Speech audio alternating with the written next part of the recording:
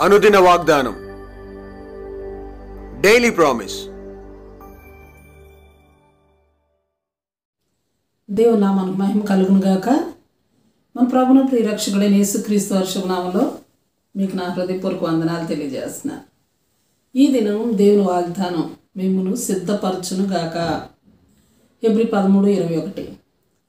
ప్రతి మంచి విషయంలోనూ తన చిత్త ప్రకారము చేయుటకు మిమ్మును సిద్ధపరచునుగాక. ఆమె ప్రైస్లాడ్ దేవుని చిత్తం చేయటం అనేది చాలా కష్టతరమైన విషయం మానవ జీవితానికి. అయితే దేవుని చిత్తం చొప్పున చేస్తే చాలా ఆశీర్వాదాలు ఉన్నాయి మరి మత్స్య పన్నెండు యాభైలో ప్రభువారు చెప్తారు పరలోకమందున్న నా తండ్రి చిత్తము చొప్పున చేయువాడే నా సహోదరుడును నా సహోదరియు నా తల్లి అని యేసుప్రభు వారే చెప్పారు.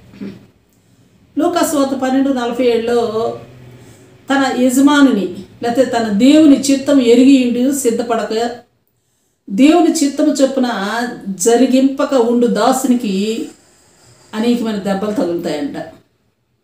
అలాగే యోహాన్ స్వార్థ తొమ్మిది ముప్పై ఒకటిలో దేవుని చిత్తము చొప్పున జరిగించిన ఎడల ఆయన ఆయన మనవి ఆలకించనని ఏసయ్య చెప్పారు.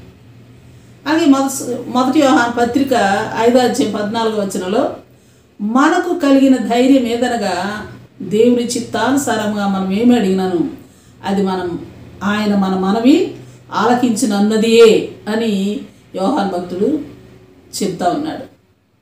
అలాగే రెండు పదిహేడులో మొదటి యోహాన్ రెండు పదిహేడులో మరి దేవుని చిత్తమును జరిగించేవాడు నిరంతరము నిలుచునని మరి యోహాన్ భక్తులు చెప్తా ఉన్నారు ప్రేస్లా ఇలా అనేక విషయాలు ఉన్నాయి. దేవుని చిత్తాన్ని నెరవేరిస్తే మరి గొప్ప లాభాలు ఉన్నాయి. అందుకే ప్రతి విషయంలోనూ తన చిత్తము చేయుటకు దేవుడే నన్ను మిమ్మను సిద్ధపరచునుగాక. ఆమె ఈ వాగ్దానం నమ్మి స్వతంత్రించుకుందుముగాక. ఆమె ప్రేస్లా ప్రార్థన చేసుకుందాం. ప్రేమ కలిగిన తండ్రి పరిశుద్ధరాని పరిశుద్ధర మనకు స్థుతులు స్తోత్రాలు.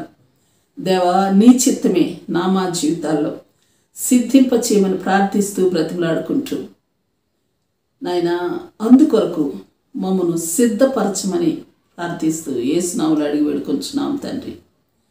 ఆమె ఆమె ప్రైస్లా రేపు మరొక ఛానల్తో మనం కలుసుకుందాం.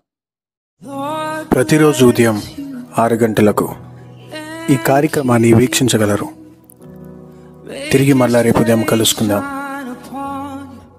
దేవుడు మిమ్మల్ని దీవించును గాక